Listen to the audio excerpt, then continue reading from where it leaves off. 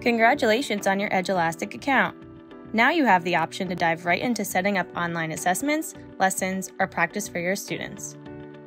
For a quick overview of the app, click the tile at the top of the dashboard and browse the different tutorials. Let's start by adding your students. On the dashboard, select Create Class. Here you can name your class and add standards, grade level, and more. When you're done, hit Save Class.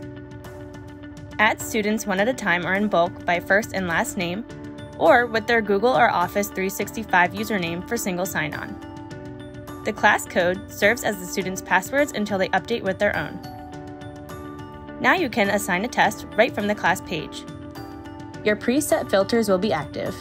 Hit Clear All and adjust grade, subject, standards however you'd like. Or enter a keyword in the search bar. Once you've found an assessment, you can preview the questions. Looks good? Hit the Assign button. From here, the assessment will automatically be assigned to the class you just created. Now that we've assigned the test, let's take a look to see how the students are doing.